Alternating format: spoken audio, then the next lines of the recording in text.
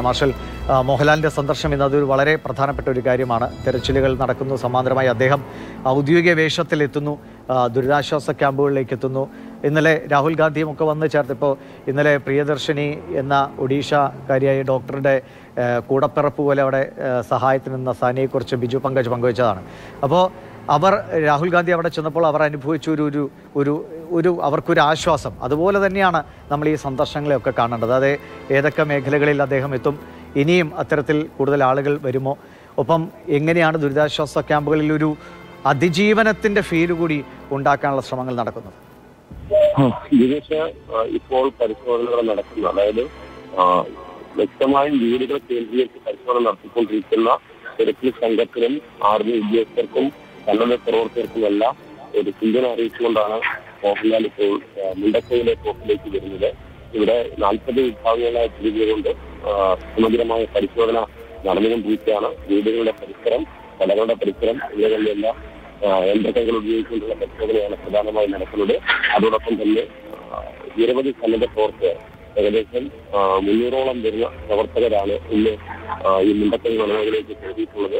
അവർ എല്ലാവരും പരിശോധന നടത്തിക്കൊണ്ടിരിക്കുന്നു അപ്പോൾ അവരുടെ ഈ ആ, സേവനത്തിന് അല്ലെങ്കിൽ അവർ ചെയ്തുകൊണ്ടിരിക്കുന്ന ഈ കർമ്മ മേഖലയിലേക്ക് മോഹൻലാൽ വരുന്നു എന്നുള്ളൊരു ആശ്വാസകരമായ കാര്യമാണ് അവർക്കും ഒരു പ്രചോദനമാണ് അപ്പോൾ അദ്ദേഹത്തെ എല്ലാവരും അവരവരുടെ ജോലികളിലാണ് അദ്ദേഹം വരുമ്പോൾ ശരി മാർഷൽ ഞാൻ വേഗത്തിൽ വേഗത്തിൽ മടങ്ങി വരാം. ഇപ്പോൾ അനന്തൻ മുണ്ടക്കയിൽ നിന്ന് ചേർന്ന് മുണ്ടക്കയിലേക്കാണ് മോഹൻലാലിന്റെ യാത്രയും എന്ന് പറയുന്നു.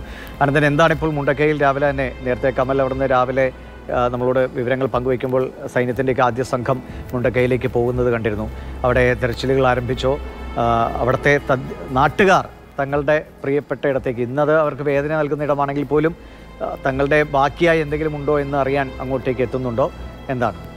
കോട്ടയിലാണ് ഞാൻ നിൽക്കുന്നത്. ഇവിടെ ഇപ്പോൾ എല്ലാ സൈനിക സംവിധാനങ്ങളും ഇവിടെ ഉണ്ട്. ദൌത്യ സംഘങ്ങളെല്ലാം ഇവിടേക്ക് എത്തിയിട്ടുണ്ട്. വെച്ചിട്ട് ക്യാമറ സൈഡിലേക്ക് തിരിച്ചാൽ മുകളിലേക്ക് ഇവിടെ നിന്ന് തൊട്ടു മുകളിലാണ് ഈ ഉരുൾപൊട്ടി വന്ന പ്രഭവ കേന്ദ്രം. അപ്പോൾ അവിടെ കുറെ വീടുകൾ തകർന്നിട്ടുണ്ട്.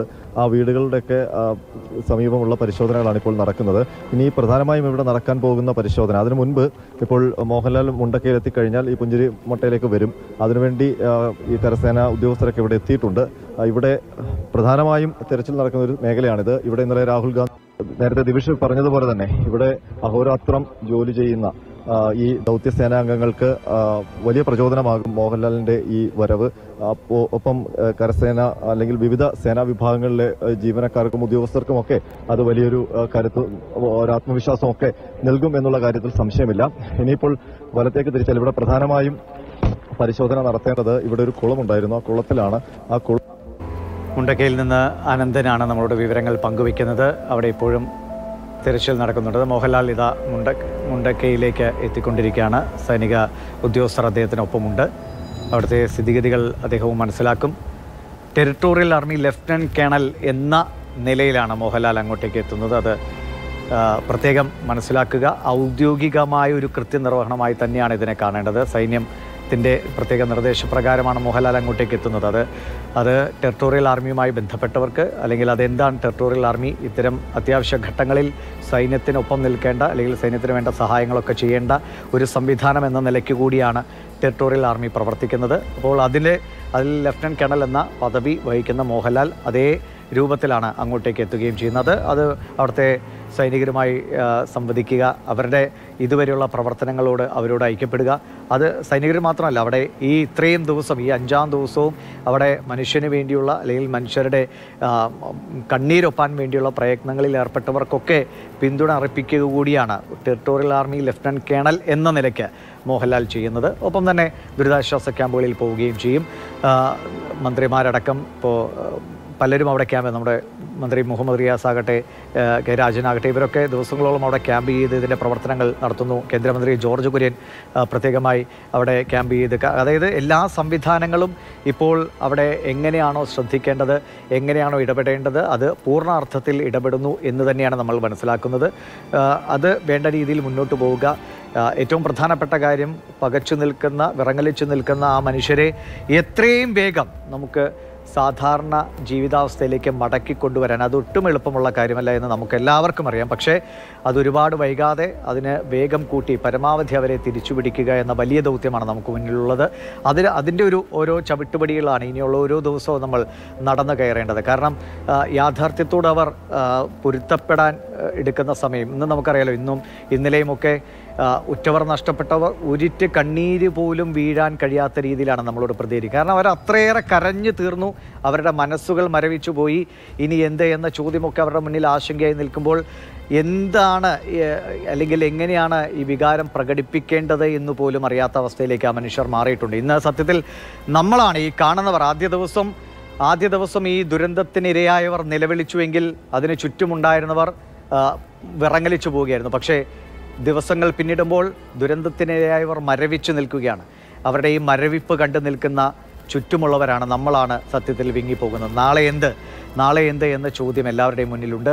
അത് ആ ചോദ്യം അവർക്കൊരു ദുഷ്കരമായ ഒരു അവസ്ഥയല്ല അല്ലെങ്കിൽ ഒരു പ്രതിസന്ധിയുടെ ചോദ്യമായ അല്ലാതെ അവരെ അവർക്ക് സാധാരണഗതിയിലേക്ക് മടങ്ങി വരാൻ ഒരു സംവിധാനവും ഒരു നാടുമൊക്കെ ഒന്നാകെ അവർക്കൊപ്പമുണ്ട് എന്ന തോന്നൽ അവരിൽ ഉണ്ടാക്കുകയാണ് വേണ്ടത്. അത് മാർഷൽ വി സെബാസ്റ്റ്യൻ തുടർന്ന് നമുക്ക് അനന്തനിലേക്ക് വഴിയെ വരാം.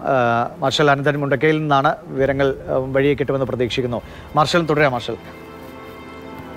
പ്രധാനമായും ഇപ്പോൾ ഇന്ത്യയുടെ പരിശോധന തുടർന്നുകൊണ്ടേയിരിക്കുന്നു. അപ്പം മോഹൻലാലിന്റെ സന്ദർശനത്തോടനുബന്ധിച്ച് മോഹൻലാലിനെ കാണുവാനും മോഹൻലാലിനെ സംസാരിക്കാൻ വേണ്ടി ഈ സ- സേവാ പ്രവർത്തകരും ഇവിടെ കാത്തിരിക്കുകയാണ്. നേരത്തെ വിധിച്ച് സൂചിപ്പിച്ച പോലെ ഒരു ആശ്വാസമാണ് ഇതെല്ലാം. കാരണം ചില ദിവസങ്ങളായി ദുരന്ത സ്ഥലം ആ ദുരന്ത സ്ഥലത്തെ കാഴ്ചകൾ ഒട്ടും ആഹ്ലാദം തരുന്നില്ല ഇടപെട്ടിടപെട്ട് ലഭിക്കുന്ന മൃതദേഹങ്ങൾ വലിയ പ്രാവശ്യങ്ങൾ വീട് തകർന്നു കിടക്കുന്ന കാഴ്ചകൾ അതെല്ലാം തന്നെ മാനസികമായി നമുക്കും ഒരു ആഘാതമാണ്. പക്ഷെ അങ്ങനെ നിൽക്കുന്ന ഒരു പ്രദേശത്തേക്ക് കൂടുതൽ ആശ്വാസമായ ആര് തന്നെയാണ് അത് സ്വീകരിക്കപ്പെടേണ്ടതാണ്. അത്തരം ആശ്വാസ വചനങ്ങളാണ് വ്യക്തിഗതമായ ഒരു മനുഷ്യനെ വ്യത്യാസം നൽകി മുന്നോട്ട് നയിക്കുന്നത്. അതുകൊണ്ട് തന്നെ അദ്ദേഹത്തെ പ്രതീക്ഷിക്കുന്നുണ്ട്. ഇവിടെയുള്ള സാധാരണക്കാരായ ആൾക്കാർ. ഒപ്പം സൈനികർ ഇവർക്കെല്ലാം ഒരു ആവേശമാണിത്.